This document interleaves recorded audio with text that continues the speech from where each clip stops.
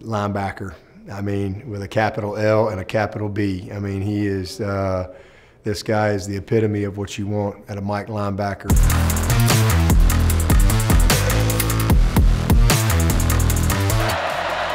Second and six. Rattler, design run. He gets dumped for a loss by Jeremiah Trotter. Here comes a five-man rush. Brown spins out under pressure. Thrown down.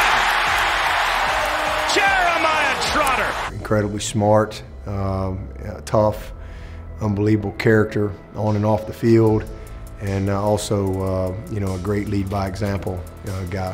Fiery, aggressive, athletic, smart, ready to go. Yeah, Trot is a guy, you know, he's a little bit more quiet, but he's a great leader. Uh, the way he's been able to step up this past year, um, just kind of step into that role uh, even more. Uh, just a, a, guy that, you know, he's going to be a long-time NFL type of guy and uh, somebody I just love uh, having as my teammate. Jeremiah Trotter Jr., just like dad. He's got to be proud when he watches his son play out there for the Clemson Tigers. He'll knock you in the next week. He's got speed, he's got ferocity, he's got the football IQ. And yeah, he's got some range too at linebacker. He'll get the interception, take it to the house on you. This guy's one of the premier defenders in all of college football.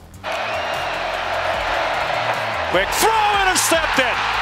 Jeremiah Trotter heading for the.